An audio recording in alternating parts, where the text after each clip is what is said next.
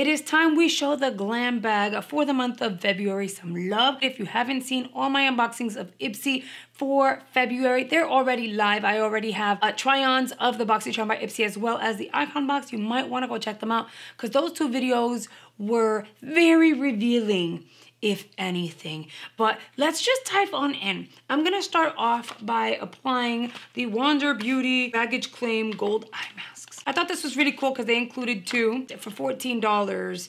You know, I know they typically would feature just the one, but look, they gave us a two pack. I'm gonna apply one today and then I'm gonna save the other for a trip that I have planned to Miami. These are really nice. The only problem is your girl talks a lot. And I don't wanna hear anybody say, well, you know, you put it on wrong or whatever. The, the fact of the matter is they're really, really juicy and it's going to move around on you. It kind of is what it is. I'm gonna kind of pop those on. My brows are already on and they look really good. I'm using two of Benefit's brand new launches and I'm so excited. It launched like, what, yesterday? So stinking good. Don't worry, I filmed with it so you'll see it really, really soon as a shorts, a reels, um, a TikTok and all of that. While that's going on, since I have to leave this on for like five to 10 minutes, I am going to hydrate my lips with the Eloise uh, lip oil that I got in the bo box. Yeah, in the box. I promise you guys I'd get better at trying lip oils and seeing whether or not I can get with it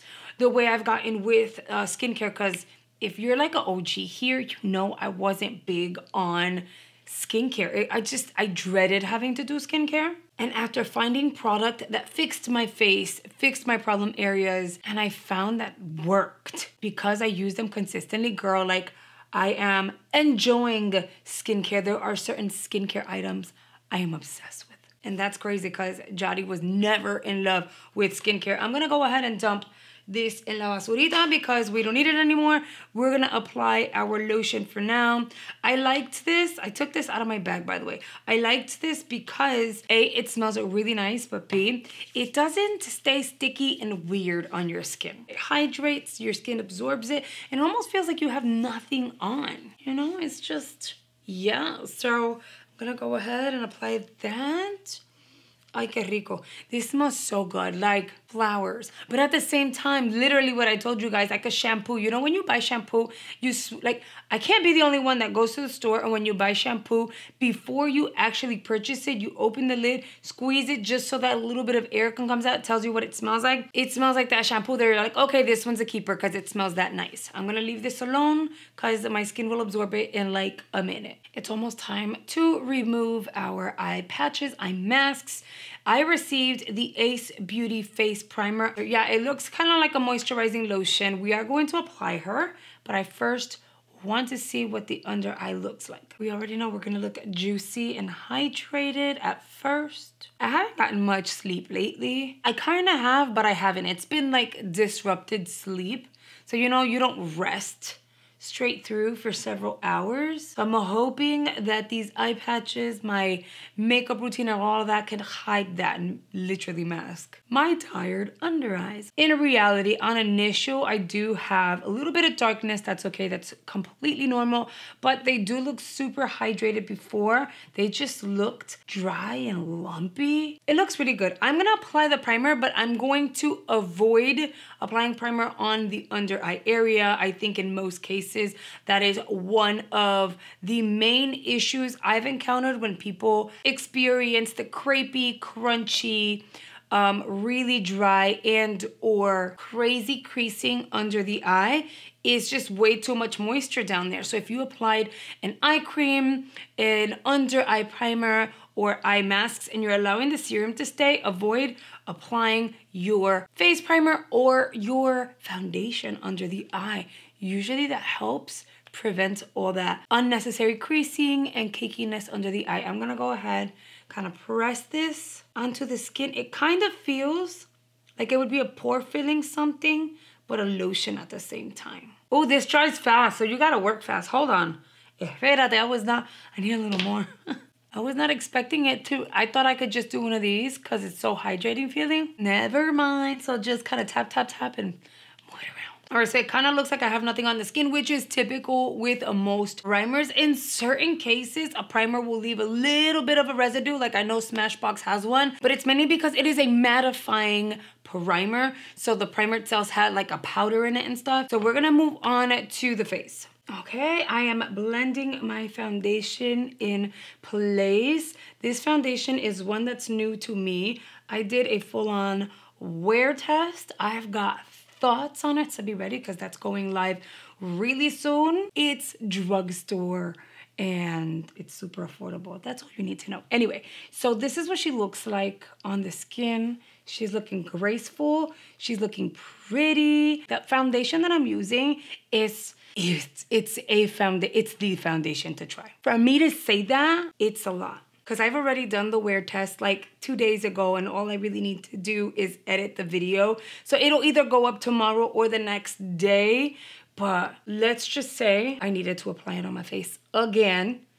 And here we go. So I know the foundation is fire. It looks great anyway. So if anything, what the primer is doing is supposed to make my foundation last longer. This skin right here is not the primer, it's the foundation. It's going to be what it's going to be. I wonder if the primer is gonna help anything at all. I will go ahead and give you guys an update in the comment section. I'll pin a comment and let you know how this primer did throughout the day. I know the foundation is amazing, but I wonder if the primer helped in any way, shape, or form. The rest of the face is on. I need to try the Rare Beauty little mascara deluxe, but before doing that, I have to like pop something on the eye. I figured why not use a Dominique shade from the, what is it, the Essential Palette.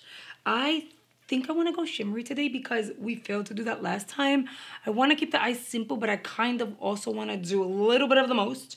So I'm going to grab a fluffy brush. I'll dip into positivity. Oof, I kind of over... I'm going to say I was being too rough and I overdid it because that right there was like picking up way too much. It had fallout. It was a mess. I'll take the, the blame for that one. Going to tap that on the inner of the eye and then I'll flip the brush over. I think I wanna go into Confident. I'll tap that one on the center and bring it out. And I'll kind of leave it out here on the outer end of the eye, but I'll bring it up to the crease. We're gonna do the same thing on the other eyeball. And when it comes to meeting the shade Confidence, I like to tap. That way we start off with some gradients, makes it easier for blending. Before running wild at the top, whatever's left on the brush itself, I will drag under the eye because I don't want it to be too much. I just want to add a little something something to the eye. If you overdo it, you may not necessarily see the effects of the mascara. I'm going to take the very same brush. See, this is one of those one and dones, you know? Take the brush on its side and I will blend it back and forth, bring it up to the brow bone, but I'm not touching this area here. The brow bone at the beginning, so the inner brow bone kind of blend back and forth. See, two shades can create the most stunning, simple look. And you can use just the one brush. This is gonna be like super wearable. So for those of you who are getting the palette and you're like, I need something that I can do every single day, feel sexy, and I can't mess up, this is it. See, and then we kind of like zhuzh it up out here. So that same shade, you're just diffusing on that outer and then you're done. So we started off looking like this and then you have this. Now we can move on to the Rare Beauty Deluxe Mascara. Here's a reminder of what the wand looks like. I'm going to apply coat number one. We're gonna do one eye at a time so we can see what the difference is. This is one coat, two coats top and bottom.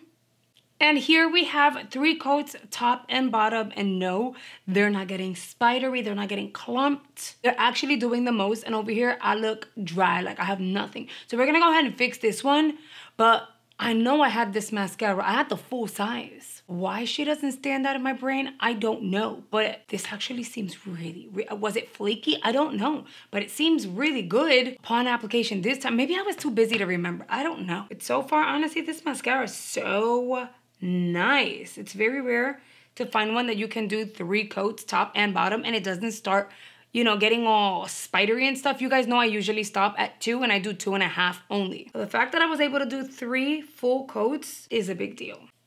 Okay, I'll take a little bit back. Depending on how you apply it, could start looking, maybe that's what happened. Because this one looks beautiful and just kind of like whew, right? And then here, certain areas started to clump up. So I think depending on the situation, depending on the condition of your lashes, how clean they are, um, I think there are gonna be multiple factors. I still think they look really pretty, but on one side, I've got some clumping and some acting up, and on the other one, it looks freaking fantastic.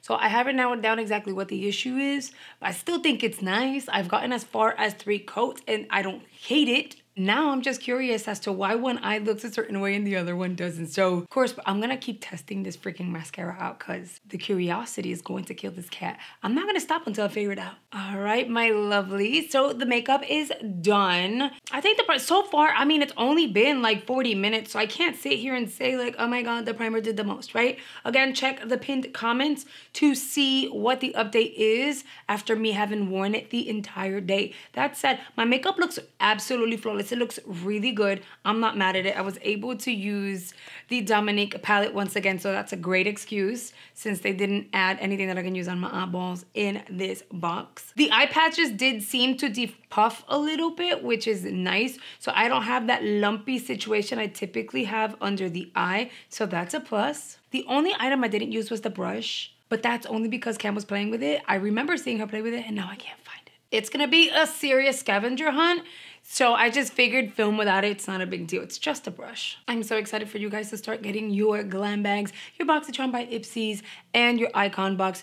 You guys are so stoked, at least the majority of you guys, for this month. This month was so good, but I wanna know, which tier do you think had the best variation? I'm sure the glam bag is not gonna win, but between Icon and BoxyCharm by Ipsy, which one wins hands down. A huge thank you to my channel members, the G Squad, for joining channel memberships, supporting the channel at a higher level, and unlocking exclusive perks like additional videos behind the scenes, photos, a private community page, a badge that YouTube provides them with so that everyone knows who is a channel member, and YouTube will highlight every single one of their comments under my videos. If you're ever interested in joining channel memberships, all you really need to do is hit the join button below any of my videos, and then you're set. YouTube is gonna recommend recommend a video they think you're going to enjoy based on your watch history here on screen. And I will recommend a playlist filled with more beauty content.